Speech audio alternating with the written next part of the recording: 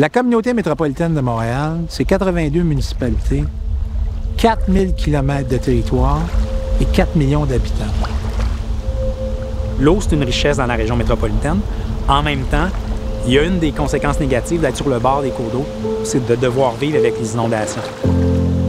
4 km d'avenues complètement submergées. Plus de 250 résidences inondées, pas seulement le long de la rive, mais loin à l'intérieur, dans les zones les plus basses. En 2017, le niveau a monté à 24,75, donc 2 mètres de plus que la moyenne normale. Ça, ça a été vraiment un, choc pour nous.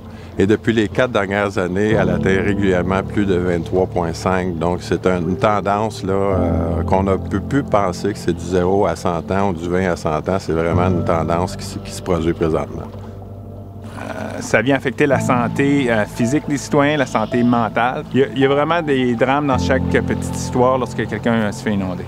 Hmm. L'eau manque de place et reprend sa place.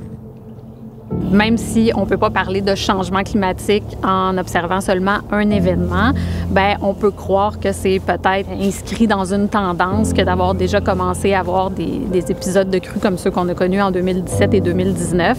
Euh, on doit en fait euh, être prêt euh, à en vivre d'autres dans les années qui viennent. Ça a été une situation difficile et ça nous a donné un électrochoc la communauté métropolitaine de Montréal a pris le taureau par les cornes. On s'est inspiré, évidemment, de ce qui se faisait ici au Canada, mais aussi en Europe.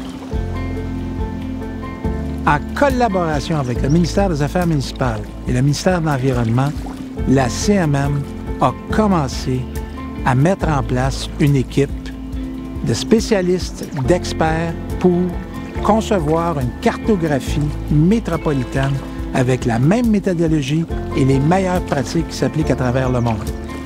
On s'est doté d'un bureau de projet, des géomaticiens, des ingénieurs, des hydrologues, des urbanistes.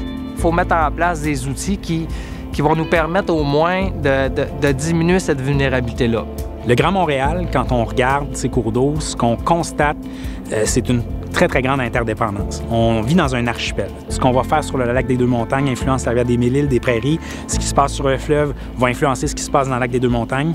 Et donc, c'est pour ça que la question de la gestion des inondations dans la grande région de Montréal, l'entité administrative qui est la mieux située pour prendre en charge ce problème-là, bien, notre avis, c'est la communauté métropolitaine de Montréal, de par l'existence de cet archipel-là. Nos cartes dataient des années 70. Elles étaient faites différemment d'une ville à l'autre. On n'avait pas la même méthodologie et on a convenu collectivement qu'on devait se doter d'un plan archipel inondation. Donc, il y avait un enjeu là majeur. Si on veut bien gérer un territoire, il faut bien le connaître, puis bien le connaître, ça passe par des bonnes cartes. Pour ce faire, bien, il a fallu faire un relevé qu'on appelle le relevé LIDAR. Le relevé LIDAR, ben, c'est un, faisceau euh, laser qui, lui, va scanner le territoire au complet et va nous donner exactement la topographie au centimètre près, de manière à ce qu'on puisse euh, finalement en arriver à, gérer le territoire avec une réglementation adéquate qui représente fidèlement la réalité du comportement des cours d'eau dans la région métropolitaine. Si le cours d'eau du fleuve Saint-Laurent monte à telle hauteur, bien, il y aura 2 mètres d'eau à cet endroit-là, mais il peut avoir 20 cm à l'autre endroit. Donc, ça aide les services de sécurité civile à planifier leur plan d'intervention aux bons endroits. Et c'est pour ça qu'en 2019, on était beaucoup plus efficace. Parce que là, la CMM nous avait donné des cartes à jour et ces données-là nous ont permis d'intervenir aux endroits ciblés par la CMM. Donc, ce qui est vraiment très important en travaillant avec les maires, en travaillant avec les citoyens, c'est d'aller regarder sur le territoire quelles sont les opportunités pour redévelopper des espaces verts, pour aménager de manière plus intelligente euh, finalement les différents quartiers, ce qui peuvent permettre, et ça ce qui est très important, aux citoyens qui parfois éventuellement été inondés, de retrouver une valeur foncière pour leurs bâtiments. On a installé un réseau de stations de mesure de hauteur d'eau. Il y en aura une trentaine dans toute l'archipel de Montréal qui sont reliés via satellite à euh, des serveurs. Essentiellement, ce qu'on veut permettre aux gens, c'est de prendre leur téléphone cellulaire en bout de ligne, de taper leur adresse et d'être capable de savoir dans un horizon de 72 heures, est-ce que l'eau va monter et sur mon terrain, qu'est-ce qui va se passer? Le gouvernement du Québec, la CMM, nos élus, des chercheurs, on s'entend tous sur l'importance de moderniser la gestion des zones inondables. Et c'est ce qu'on a fait à la CMM en amorçant une réflexion d'abord pour le territoire métropolitain, mais après avec le gouvernement du Québec pour proposer une nouvelle façon de gérer euh, les zones inondables. En février 2020, euh, la CMM a amorcé un projet pilote en collaboration avec la MRC de Deux-Montagnes et les municipalités qui sont situées donc au nord euh, du lac des Deux-Montagnes.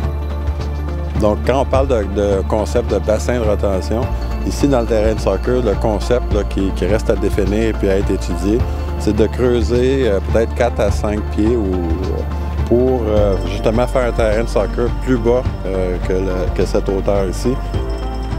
Donc, l'idée, ce serait de diriger les eaux dans le parc pendant la crue printanière, de manière à ce que cette eau-là soit retenue.